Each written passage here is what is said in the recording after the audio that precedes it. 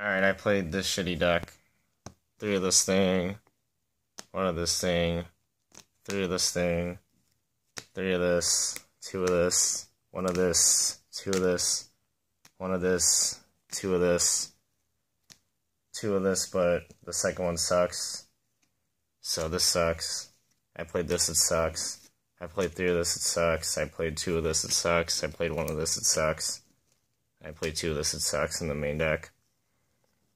And then these cards are okay. I played this, this, two of this, one of this, three of this, and three of this.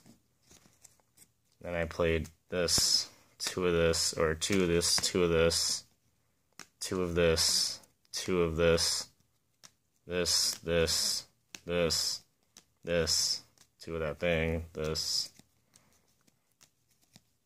I went for a game with this. This is really good. And this card sucks, so I'm never playing again. These all need to be in the sidebook. This is good. This is okay. I don't really know. This is good. This is good. And this is good.